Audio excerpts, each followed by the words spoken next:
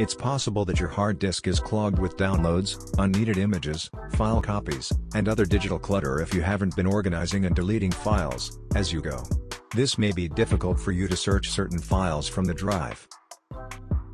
In today's video, let us check out, how to actually solve this mess in one go.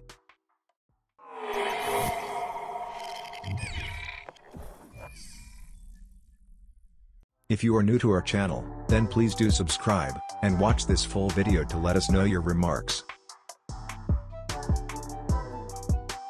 We have provided this Google Drive link in the description, you can download. This is a .bat file. A bat file or batch file, is a script file in DOS, and Microsoft Windows. Which consists of a series of commands, to be executed by the command line interpreter. Click on download button.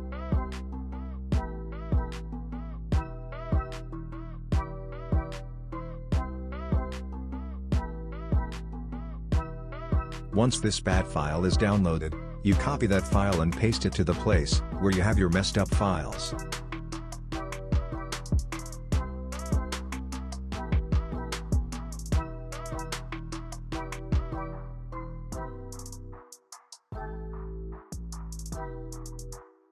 Once you have pasted the BAT file onto the messed up files, double-click on the BAT file, which will execute, and create folders for its specific file.